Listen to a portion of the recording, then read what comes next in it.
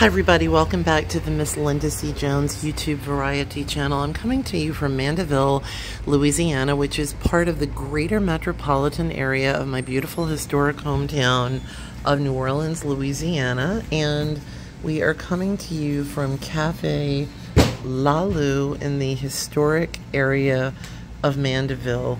If you get a chance, come on over to Cafe La Lou, yet another locally owned business establishment, support your local businesses.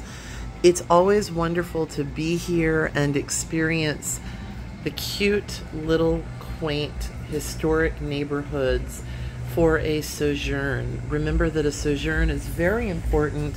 It helps to clear the mind, restore, refresh, and renew. Peace out and God bless.